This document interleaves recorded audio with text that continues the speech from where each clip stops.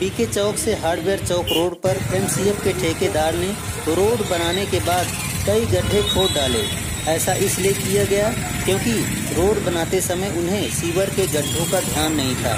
अब जनता परेशान हो रही है, ट्रैफ़िक जाम लग रहा है, दुर्घटना होने का खतरा है। आज वकील पारासर और हमारी मीडिया टीम ने इस रोड का दौरा किया। देखिए, क्या कहते हैं वकील एरन पारासर?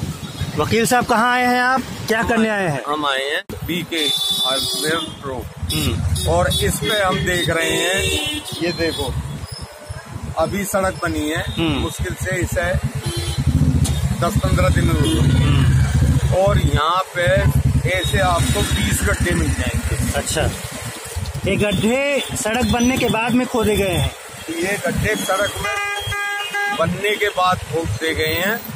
सिविल ढूँढने के लिए। हम्म। पहले करोड़ों रुपए की लागत सड़क बनाई गई। करोड़ों रुपए। गरीब आदमी का इसमें यूज़ हुआ है। निगम का क्या गया? उनकी सैलरी तो उन्हें पूरी मिलनी। हम्म। लेकिन जो पैसे का दुरुपयोग हुआ है इसका जिम्मेवार कौन है? कई जगह ऐसी खुदाई हुई है जहाँ गड्ढे हैं ही नहीं। नहीं है यहाँ नहीं है गड्ढा। हाँ। ऐसे मैं आपको बीस जगह दिखा दूँ जहाँ गड्ढा नहीं है। और लोग परेशान है ट्रैफ़िक जाम भी होता रहता है। ट्रैफ़िक जाम है। आगे और चलो। तो दिए गए नुकसान हो रहा है जनता का। ये निगम की लापरवाही से हो रहा है। मैं पहले से आपसे कहता आ रहा हूँ कि भाई कई डिपार्टमेंट ऐसे हैं जो सोए हुए हैं। मतलब यहाँ तो एक्सीडेंट भी हो सकता है जो है। यहाँ दुर्घटना घट बना के सकती है ऐसे एक नहीं ऐसे मैं दी आपको बीस घंटे गिनवाता हूँ यहीं। इसी यहाँ तक लगभग बीस पच्चीस घंटे हाँ। दिखाई पड़े। देखो यहाँ दिखा रहा हूँ मैं आपको। यहाँ पे कोई सिविल नहीं है। अच्छा कोई सीवर नहीं है? कोई सिविल नहीं है। इसकी वजह से एक तो रोड खराब हुआ। हम्म, पब्लिक को परेशानी हो रही है। हम्म, हैं? और एक्सीडेंट हो सकता है। हम्म। कोई भी दुर्घटना घट सकती है। इसका जिम्मेवार कौन है? निगम मतलब लोगों को बेवजह परेशान किया जा रहा है? लोगों को बेवजह परेशान हो रहा है। यहाँ सिविल वो देखने के लिए इन्होंने खुदाई की है। हाँ रोड बन गया पट्टियाँ भी बना दी गई हैं पूरा और उसके बाद बनने के बाद ये देख रहे हैं कि सिविल लाइन कहाँ है। हम्म, और यहाँ पर कोई वो नहीं है। पहले इन्हें देखना चाहिए था सिविल लाइन कहाँ पर है। आगे जहाँ थ्री व्हीलर खड़ा वहाँ देख लो।